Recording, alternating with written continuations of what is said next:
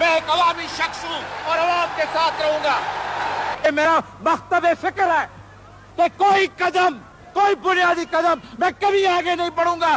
गरीबों की इजाज़त के बगैर, गरीबों के मेहरबानी के बगैर और गरीबों के तावन के बगैर। मेरे साथियों और मेरे साथियों और मुसलमानों मुसलमानों, मैं तुम्हें गवा देता हूँ। मैं तुम्हें अल्लाह ताला के हाजिर नाजर करके गवा देता हूँ कि मुझे इकतदार का हवस नहीं था। मैंने इकतदार की कुर्सी को पहले ठोक के ताशकंद के बाहर फेंक के रखा था।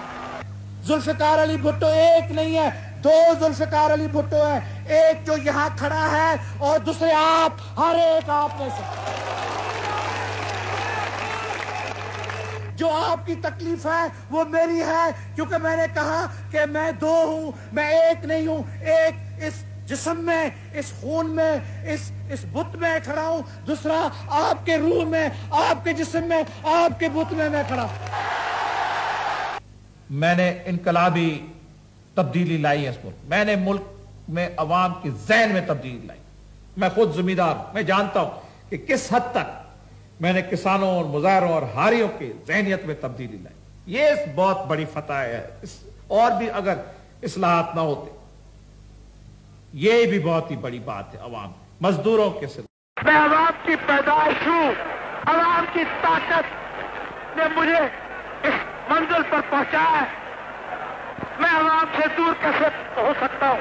अवाम और मेरे दरमियान में अगर हाँ अगर मछली पानी के बाहर रह सकती है। खुशबू फूल से जुदा हो सकता है। तो जुल्फिकार अली भुट्टो अवाम से दूर हो सकता है। आज मैं बड़ी जुरत से, बड़ी जुरत से ये ऐलान करता हूँ कि मैं ये ऐलान करता हूँ कि कानूनी तरीके से सदरी निज़ाम को खात्मा आज हो रहा है। ये फैसले मेरे गरीबों, ये फैसले आपके हाथों में है। मेरे मजदूर भाइयों, मेरे मेहनत का शवाम, मेरे बुज़ुर्ग दोस्तों, ये फैसले न जुल्फिकार अली भुट्टो को करने पड़ेंगे, न इंदिरा गांधी को करने पड़ेंगे। ये फैसले न पंडित को करने पड़ेंगे, न सरदार को करने पड़ेंगे, न साहब को करने पड़ेंगे, न सेठ को करने पड़ेंगे। ये फैसले पाकिस्तान और कश्मीर के गरीब अवाम को, गयूर अवाम को, बहादुर अवाम को फैसले करने पड़ेंगे।